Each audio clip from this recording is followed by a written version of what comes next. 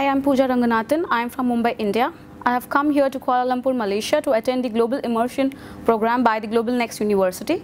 In a few words, I would say it is a very breathtaking and amazing uh, session that they have actually provided to all the participants and a very technologically driven platform wherein we can learn many things about cultures and about many economic conditions that are in the world around. We have come here as a new batch and it is a very nice experience.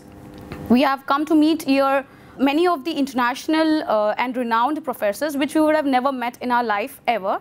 And one of the best reasons to be here is that it's the first time for many of us to actually be in an abroad country. So yeah, I would like to say thanks to each one of y'all to make it a huge success. And I would always, I would like to thank you from the bottom of my heart because yeah, I know that we, we can do it and we, we would ensure that your name is always in the top of the list of universities worldwide.